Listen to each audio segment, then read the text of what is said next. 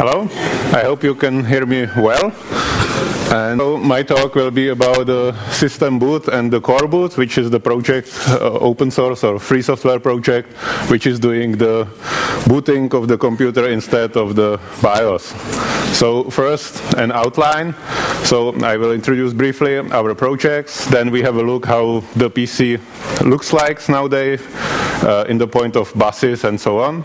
Then there is a little catch. We don't have any RAM at start, so I will show you how to deal with this. And of course, how to init the RAM of the computer.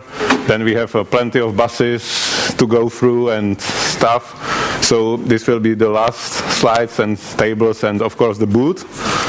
So first, who we are. Coreboot, free software project, coreboot.org.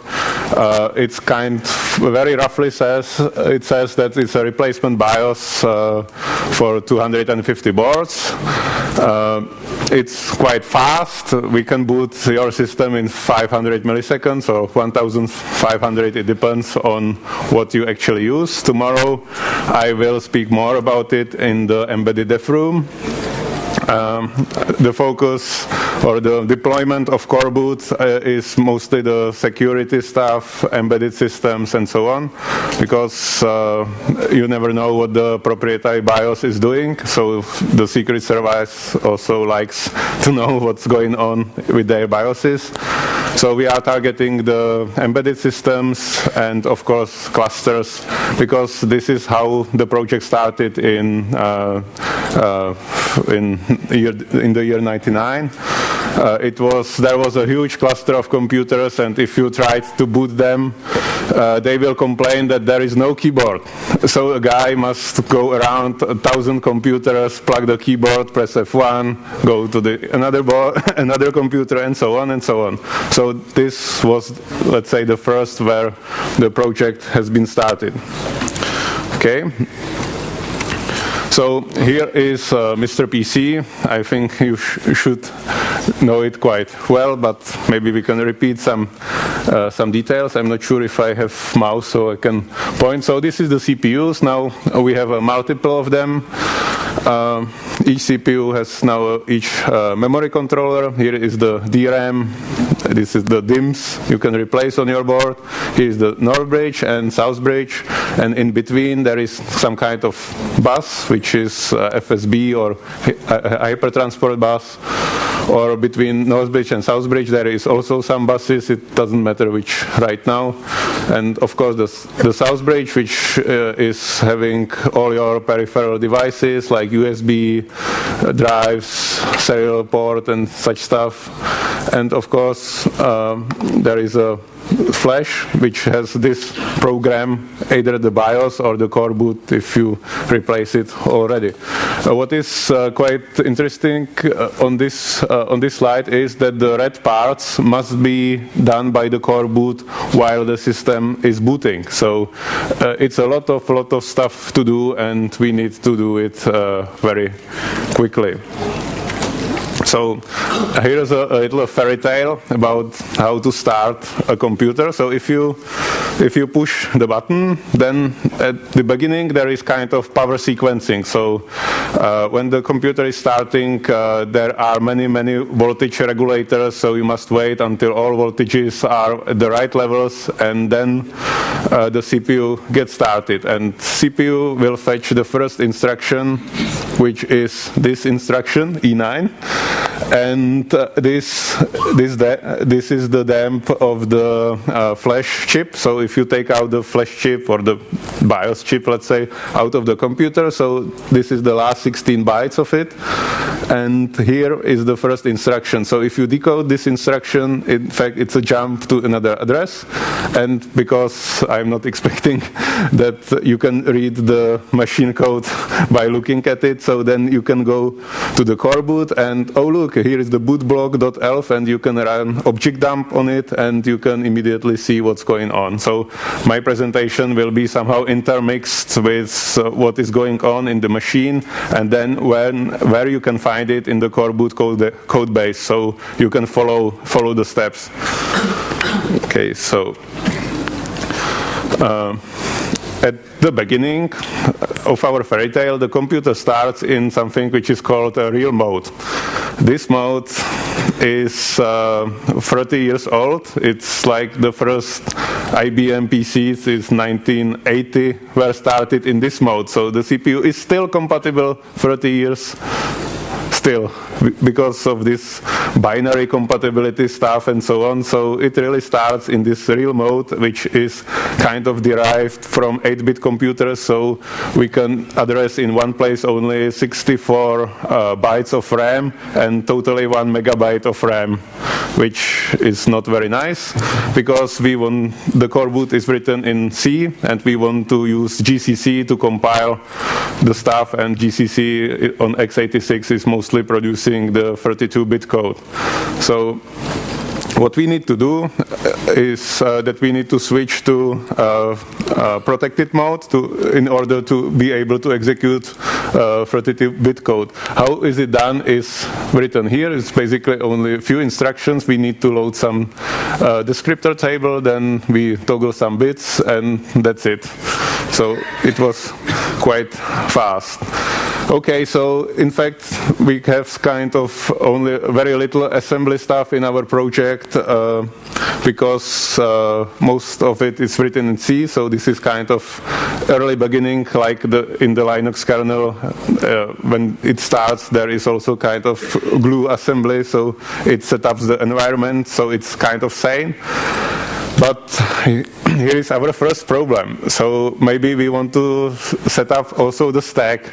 And you know, when you start the computer, you have no memory. So uh, we need first somehow to cope with the fact that uh, we need to, we want to run the C and we don't have any stack.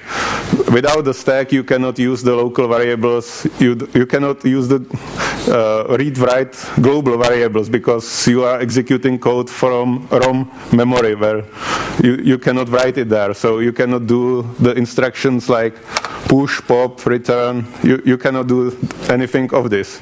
So basically how we solve it, there are two possibilities. One is to use a special compiler, which is called ROMCC. This was uh, written like that 10 years ago by Eric Biederman. It's a C compiler written in one C file. It's very ugly, very big, quite bloated, but it has a very special thing. It uses only CPU registers instead of the RAM. So the local variables in C codes are just stored in the registers. So, of course, it means you have only 128 bytes of available space, but you need to live with that. Okay, uh, or the second possibility, which is used uh, on the modern CPUs, is the cache as RAM. Uh, it's a neat trick. You can you can load the cache uh, which will become valid with the garbage data from memory, and, and you can you can use it because if you don't evict any cache lines, then it is a RAM. So it's like write back cache which never reads, uh, reaches a RAM. So that's basically a trick how to do that. So let's see, we are now in C and happy. So first C, C, code is executed in file which is called romstage.c. Uh, this file is kind of main main function which gets started uh, uh, in the in the C environment. Uh, this in this file there is an early initialization of the chipset and uh, I will show you what's done there. Basically, I think you already read that, so we need to have access to the serial line because we want to read some debug messages and so on. So we need to set up the serial line so it works and we can do print case uh, to our screen. Of course, we need to do the stuff to reach the serial line, so uh, we need to set up the LPC bus and hypertransport bus and so on in the meanwhile. I am not expecting that you can see this because this hole is quite big, but uh, it's an invitation to read the code yourself. Basically, here is the start, is the cache as RAM. You can see here we need the LPC bus, here we need the serial line, oh look, and here we can print something on screen. So uh, we can have a look more until uh, when I'm done with this lecture. Then Carl Daniel will speak about the flash ROM. This will this will be about how to flash uh, the flash chips on the motherboards, and then you can come to our uh, to our stand at AW building, and we can have a look there, and we can talk more, of course, about this. Um, okay, so RAM init. So in this environment, we still run without any RAM. So even if I uh, put out all RAM from the board outside, it will still boot and show those messages because we are using cache as RAM.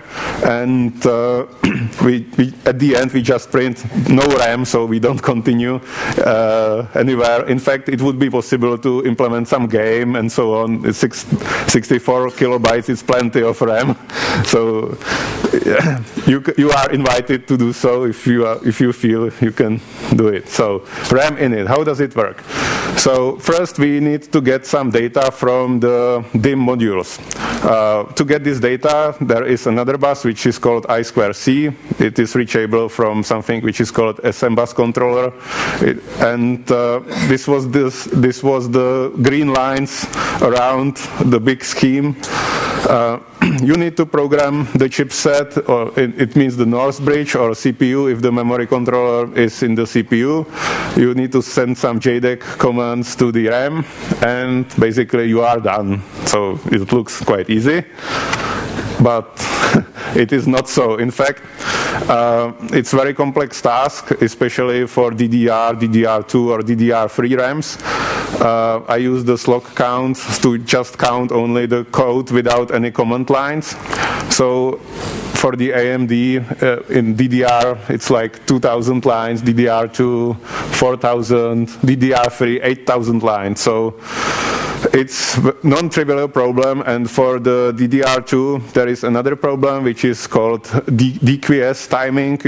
you need to find a strobe signal which will uh, assure that the right data is read from the memory, and this timing is uh, this timing is quite crucial. So it and also it depends on the temperature. So at the beginning, you just need to find the the right place where it starts to work and the place where it doesn't doesn't where it doesn't work again, and then you take the half of it. So it's quite complex and complicated. Of course, it's also depending on the PCB layout and temperature and such stuff. So excuse me, uh, no, no time in 50 minutes for this.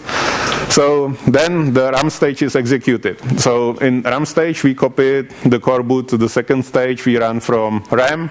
In this stage, we have to train the PCI Express link and do all the resource enumeration on the PCI bus, like set up the I.O. ports and such stuff.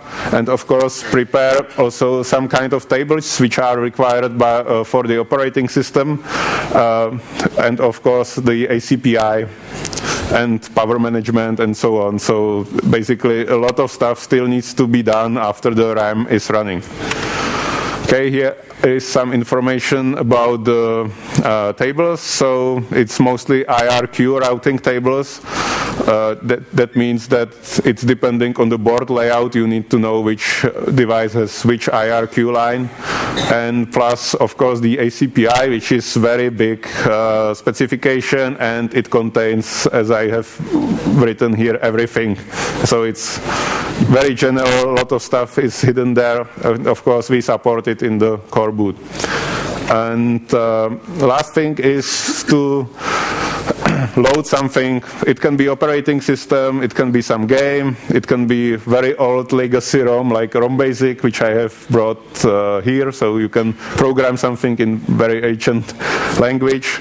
We use uh, SeaBIOS. This is a compatibility layer between coreboot and operating system. You know this from the QEMU, because when QEMU loads, uh, you can see it. So QEMU is the layer in between which which can uh, which is used to load the operating system like a legacy BIOS let's say So that's it. Many thanks, and please well, well, visit us at our uh, at our uh, booth. I would be glad to to see you there, and I can explain more stuff in detail. And tomorrow I will have some timing talk at the embedded F room, and now the next one is Carl Daniel, which will be speaking about how to flash the flash chips on the motherboard. So thank you again. That's it. Oh, many thanks. Perfect timing.